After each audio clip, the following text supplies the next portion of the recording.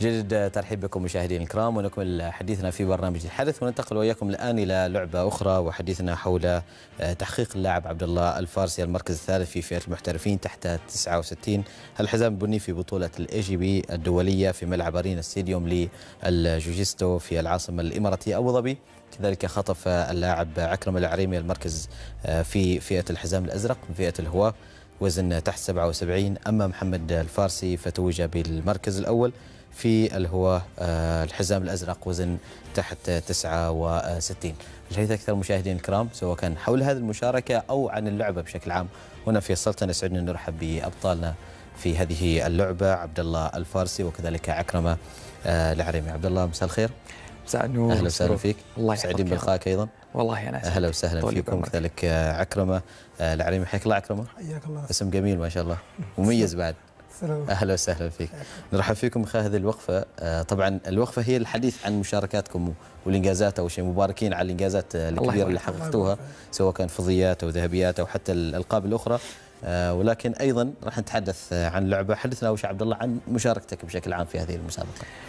والله يا أستاذ الكريم أريد أتكلم بشكل جانب اللي هو عن البطولة وعن تجربتنا في هذه البطولة، إحنا عندنا تجارب منذ 2010 لكن أحب أن أوجه هذا السؤال إلى عكرمة، خليه هو يتكلم في الجانب وتجربته في هذه البطولة بحكم أن هي أول بطولة أول, أول مشاركة له في أيوه في بطولة دولية خارجية. وأنا أحب إني أتكلم إلى جانب جانب اللي هو البعد الاقتصادي والاستثماري في هذه الرياضة والفائدة اللي ممكن يستفيد فيها جميل. أي مشاركة ولاعب انت من 2010 تمارس اللعبة؟ نعم. عشان كذا واضح إنك يعني رايح في مجال بعيد ومتعمق كثير الله يبارك فيك. نعم. حياك الله عبد الله. عكرمه خلاص هو وجه لك سؤال بالنسبة لي عن تجربتك في المشاركة في هذه البطولة. تجربة أولى بالنسبة لك. تجربة جميلة جدا صراحة. كانت أول بطولة لي أول مشاركة. ما شاركت في ولا بطولة لا محلية ولا مباشرة في هذه. ابدا. الفريق غام بطولة بطولة محلية عمان جيجا بإشراف الكوتش عبد الله قبل ثلاث شهور أو أربع شهور. بس كتجربة بطولة أني كانت لي هذه أول مرة. طبعا الإنجاز هذا ما بالنسبة لشخصي فقط هذا إنجاز الفريق كامل. تدربنا اجتهدنا ثابرنا عسكرنا لمدة شهر تدريب مدة يومين جيجيتسو وتقويه وبعدها توجهنا لأبو ظبي يومين. الميزان بعد الميزان دخلنا أجواء البطولة أجواء يعني جديدة بالنسبة إنك لك أنت كأول مرة. بالضبط جمهور ضغط. طبعا الكوتش عبد الله كان متواجد معنا أثناء التدريب. ساهم ساهم بخبراته مدنا بخبراته تقنياته. أعطانا كل اللي يملك ما قصر مع الفريق. كذلك أيضا وقوفه بجانبنا أثناء النزالات توجيهه من الخارج. صحيح. أيضا كانت هذه تجربة لنا ولله الحمد. أنجزنا الفريق ثلاث ميداليات.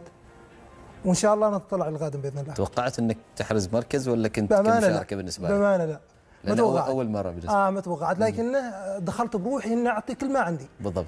إني أحرز الأول. دخلت ما عشان أخسر. يعني داخل عشان أفوز لكن كتوقع إني أنا أحصل ميداليه ما كنت متوقع وهذا الشيء اللي غير متوقع دائما يكون يعني طعمه مختلف يعني إنك تكون رايح يعني بشكل مختلف. حافز جدا.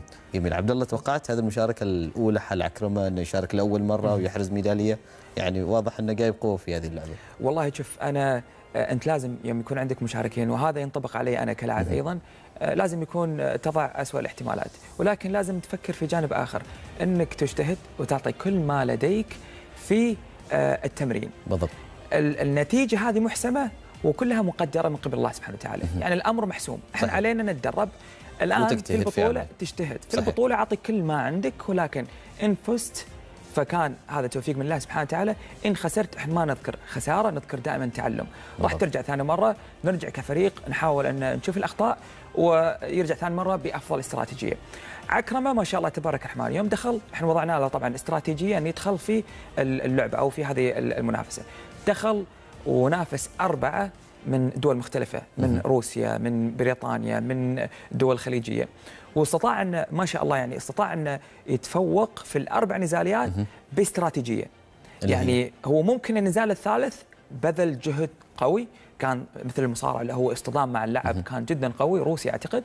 لكن النزال الأول والثاني والأخير كان في استراتيجية وكان في حسم للنزال بطريقة جدا ممتازة. ممتاز وأيضا اللي هو ال ال ال ال آه الهدوء في أثناء ال- ال- النزالات هذا اللي أنا بالنسبة لي صراحة من شفت أول نزال قلت أ- عكرم اذا يستمر على مثل هذا ال- ال- الأداء راح. يحرز المركز الأول بدون أي كلام ممتاز. والحمد لله استطاع إنه يجيب المركز الأول بعد ال- البطولة عكرم جلس معي وقال كنت جالس مع نفسي وأقول أهيئ نفسي إن إذا خسرت كيف راح إيش؟ آه آه يعني آه أتعدى هذا.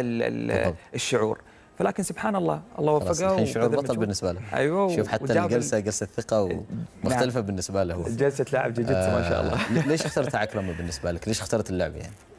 الصراحه الانخراط في ذي الرياضة تعرفت على الكوتش عبد الله نزلت الصالة صاحب ساحب مثل ما آه. يقول وسحبك للعب سحبنا يعني بالضبط. تعرف إحنا شباب ون- ونحب التمرين يعني فكان كنا دائما جيم بس الجيم يعني روتين صحيح تقويه للجسم آه ويصير بعد فترة ممل بس جالس يعني إنك تعامل مع آه فقط. تستمر يعني يكون جدول رياضي في في يومك يعني. بالضبط. الكوتش عبد الله عرفنا على الرياضه انخرطنا في الرياضة الصراحه شيء شيء جميل يعني. حبيت الرياضة واستمرينا فيها. صح أحيانا تقطع بس إن شاء الله الاستمرارية خصوصا بعد آه، إنجازات الفريق مع. بعض. طلعات مع بعض البطولات مع بعض والموسم يعني الحين بادي يعني هذه هذه بداية السنة. صحيح. تبغى تكون بطولات عدة. أمامنا إن شاء الله بداية كفريق. الموسم وأنت تحرز ميدالية يعني شيء كبير. هذا يشجعك للقادم أكيد يعني أكيد بالنسبة أكيد. لك. هذا حافز. بالضبط. هذا أحد الحوافز يعني جميل. يخليك هو هو خبرنا عن مشاركته ومشواره كيف كان لكن أيضا أنت أحرزت مركز ثالث. خبرنا كيف أيضا المشاركه كانت معك. والله شوف آه، أستاذي طول بعمرك آه، الحمد لله إحنا لنا مشاركات منذ 2010 آه ف الوقت أنا أريد أتكلم لأن أنت راح بعدين آه، شو اسمه تحاصرني وتقول لي الوقت يا عبد الله. لا لا لا عندك خلاص نبدأ من الحين معك أوكي طيب بس يلا. أنا أريد أتكلم اغطي جانب آخر بس بنتكلم عن تجربتي أنا أكيد طبعا في جانب الاحترافي. أنا الحين يوم أدخل معظم اللعيبة اللي هم يدخلون بمستوى البني والأسود آه لعيبة منتخبات. فأنا أدخل الآن دائما أنت بأي حزام تدخل؟ آه، البني. البني. اللي هو البني. والأسود هو الفئة الاحترافية. بالضبط. فهني أنت تدخل مع منافسين إن المنافسين هذول يجون مع منتخبات مع مدربين اعدادين مدربين إعداد بدني آه، آه، مدربين لعيبة جوجيتسو محترفين آه، من دول خارجية. كذلك أيضا نفس الشيء عندك الجانب اللي هم اخصائيين التغذية فريق كامل متكامل مع. إداريين. بالضبط. فتحصل انهم أيضا خلفهم جمهور ولعيبة. خلاف إنك أنت يوم تبارز أو تدخل نزالات مع هذول الأشخاص من منتخبات لكن أنت إلى الآن الدولة ما عندها لجنة. أو حتى اتحاد. فشوي الوضع دائما يكون صعب يوم تدخل فئة الاحترافية. هذه مو فقط في هذه ال- ال- البطولة الدولية. يعني أنا سبق وشاركت مع بطولات عالمية اللي هي نهاية الموسم و2020 21 أحرزت فيهم المركز الأول. ممتاز. فكنت أنافس مع أيضا منتخبات. يعني كنت أجد نفسي ممكن شباب عكرمة وفريقي عدد بسيط جدا من اللعيبة اللي بعد ما يخلص من النزالات يرجع المدرجات يساعدك. على أساس يشجعني. بالضبط. أو أيضا نفس الشيء يساعدني في الجانب التقني. أما هم لا اللاعب يركز عنده بس طاقم فقط كامل. أيوه الطاقم اللاعب يركز بس إنه يدخل في النزال بعد ما ينتهي من النزال أو ينتهي من النزال بالكامل يروح يريح يشرب ماء. الشباب لا يقومون بالدورين بالتشجيع وباللاعب أيضا وأيضا في الجانب والمساعدة. جانب المساعدة. بالضبط. فانت يوم تقف تجد صح خلفك ممكن يكون ستة إلى ثمانية آه، لعيبة لكن من الفئة المحترفة أنا بالنسبة لي لأن ال ال ال ال الأشخاص المنتسبين لهذه الرياضه عدد كبير. آه، لكن اللي هم الواصلين مرحله اللي هم يشاركون في البطولات اللي هم أعداد قليلة. نتكلم عن يصل ل 12 شخص اللي هم 12 شخص. منافسين. دوليين. فتجد لكن خصمك مع فريق ممكن يتكون من 20 وجمهور آه، فممكن شوية هذا أنا بالنسبة لي اللي ممكن يأثر فيه لكن سبحان الله اعتد مع هذا الأمر آه، وخلاص آه، صرت أضع استراتيجية بالنسبة لك ودائما إن يوم أدخل في نزال أضع اللي هو الإطار أو إن أضع إطار خارج حول الملعب ما أنظر لأي حاجة إني أكون بالضبط. مركز في الاستراتيجية. وتطبيقها في البساط. هذا بالنسبة لمشاركتك. أنا هذه النقطة اللي ذكرت لي إياها في بداية حديثك أنا أريد أتعرف عليها الآن اللي ذكرت لي عوائد اقتصادية وغيرها بالنسبة لهذه اللعبة. اسمع طيب. منك. إحنا طبعا آه، شو اسمه أريد أوضح لك إحنا وين وصلنا في هذه الرياضة. أول ما بدأنا 2010 كانت أكاديميات بسيطة والشباب مشاركين حتى ما كانت رسمية. كان الشباب اللي يحبون هذه الرياضة يلعبونها في جراجات أو يفتحوا لهم غرف يتمرون فيها. ثم توسعت وصارت عندنا الآن نتكلم عن إحنا قمنا بالحصر الكمي. آه، فالآن عندنا أكثر عن 12 أكاديمية متوزعة حول السلطنة. ممتاز. في مسقط أربع أكاديميات في صور اثنين أكاديميات والثالثة الآن تحت النشء من الصفر. آه كذلك أيضا معانا في آه صحار في الرستاق في ظفار. ممتاز. في عندنا عدد من الأكاديميات. المنتسبين لهذه الرياضة كذلك أيضا قمنا بمجهود شخصي بحث كمي وتم رفعها إلى وزارة الثقافة والرياضة والشباب.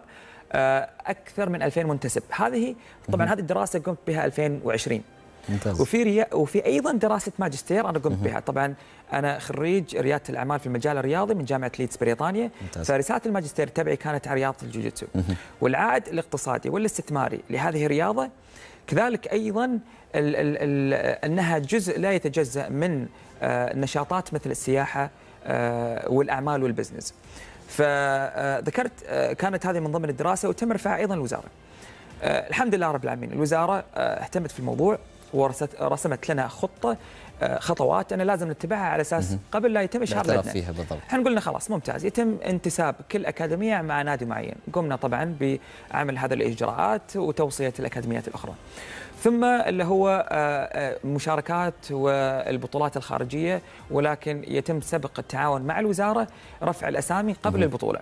على أساس انه يتم إشهار أن هذه البطولات كلها ما ترجع إلى أمر شخصي ترجع إلى الدولة بالضبط. وقمنا طبعا إحنا من بدأنا طبعا دائما نرفع شو اسمه علم عمان يعني أب- ابدا ما كنا نفكر أنه يكون العائد اسم النادي أيوه اسم الأكاديمية. النادي ابدا لا يتم. ذكر اسم النادي دائما فريق عمان للجوجيتسو وهذا هو إحنا فريق. عمان للجوجيتسو ف وصلنا إلى مرحلة أخيرة وهو أن يتم إقامة فعالية ويشو وراح نرى من بعد هذه الفعالية عدد المنتسبين لهذه الرياضة وأيضا الزخم. ال- هل راح يحدث زخم؟ هل في آه، منتسبين لهذه إقبال الرياضة. واقبال خلينا نشوفها في أرض الواقع. جميل. فالحمد لله رب العالمين كان من ضمن آه، فريق العمل.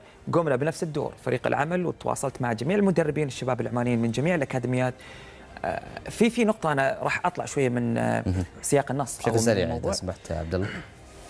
يوم نشارك في كفريق يوم نشارك في آه، مشاركات خارجية. تواصلت مع أخي أخي, أخي أيضا نفس الشيء آه، لاعب آه، رياضة الجوجيتسو عنده معسكرات خارجية وخلاف ذلك. فقلت له أريد انسق مع أكاديمية. على أساس أن نتمرن معاهم نعسكر معهم.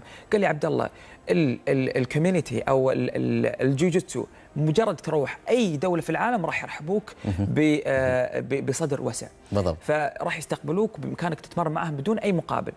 فال ال هذا اللي أنا وجدته أيضا كذلك من من قبل الاكاديميات الأخرى والمدربين، جلسنا مع بعض وأيضا لاعبين ساهموا في هذا الأمر، إنه راح نقيم أول بطولة. جميل. أقمنا البطولة تحت إشراف الوزارة. والحمد لله رب العالمين. في خلال تسعة أيام يعني أنا حصلت على الموافقة قبل البطولة بتسعة أيام. ممتاز. 32 مشارك أو عفوا 32 دولة مشاركة وأكثر عن 200 مشارك للرياضة. من عدة دول أيضا من دول أوروبية وآسيوية جو من الخارج وشاركوا في هذه يشاركوا في البطولة. هذه البطولة. تسعة أيام بس. تخيل إن كان مثلا التنويه مسبق ثلاث أشهر قبل. كان بيكون على المشاركين أكثر أكبر الاقتصاد وخلاف. ذلك. وأيضا نفس الشيء نقطة مهمة ان بما أنها تحت إشراف الوزارة فرسوم الاشتراك كانت معفيه عنها. لكن هي من الأصل أنا كنت ممكن إني أدرج رسوم وهذا أيضا راح يتم جميل. استخدامها وتشغيلها للبطولة نفسها أو في أمور أخرى تطوير لهذه الرياضة. ممتاز. إحنا ترى على فكرة خلص وقتنا بس. طيب خلاص طيب. هو أنا ما. راح أطول أكثر عن كذا بس اللي هو إذا أنت إذا في رسالة ممكن يقدمها لهذا الأمر. أنا أول شيء طبعا وأرجع وأكرر أن الوزارة قائمة بدور كبير في بخصوص هذا الموضوع على أن آه، دعمها لهذه الرياضة وحبها لهذه الرياضة. آه وعلى آه، فهمهم للعائد لأي مشارك لهذه الرياضة سواء كان عائد البدني أو الذهني. بالضبط. آه، على أن إن شاء الله راح تكون في أقرب فرصة يتم إشهار لجنة لهذه الرياضة. وهذه. كلمة وعد من سعادة الوكيل باسل الرواس وتقريبا منذ يومين تقريبا ممكن تحدثت معه على رقم الخاص وقال لي إن شاء الله إحنا على صدد إنه يتم اشهار ممتاز. لجنه إن شاء الله نشوف اللجنة ونشوف بإذن عبد الله الله. موجود فيها. المرة الجاية إن شاء الله المرة الجايه إن شاء الله. بإذن الله نقعد مع بعض ونتكلم عن بإذن توجه الله. اللجنة إن شاء الله. ولا يهمك إن شاء الله. شكرا لكم عبد الله وشكرا لكم عكرمه على هذا الحديث. طبعا مع نتابع آه هذه الصور اللي كانت قبل قليل. وإن شاء الله لكم مشاركات قادمة. آه آه. سواء كان عبد الله وعكرمة. وإن شاء الله تشرفونا في هذه المشاركات. ونشوفكم بشكل أفضل. شكرا عبد الله. الله إن يبارك شاء الله فيك. نلتقي في حلقة ثانية يكون عندنا وقت اطول ونسولف أكثر عن إن شاء الله. هذه الرياضة بإذن الله الله. عكرمه أيضا شكرا لك. إن شاء الله نشوفك مميز دائما. مع كابتن عبد الله ما عليك خوف بإذن الله. نرفع علم السلطنه بإذن الله. شاء الله. شكرا لكم. هذا حديثنا مشاهدينا الكرام حول هذه الرياضة وبهذا نصل وإياكم إلى ختام حلقتنا. شكرا لكم. على كم متابعة سنلتقي وإياكم يوم الغد. في أمان الله.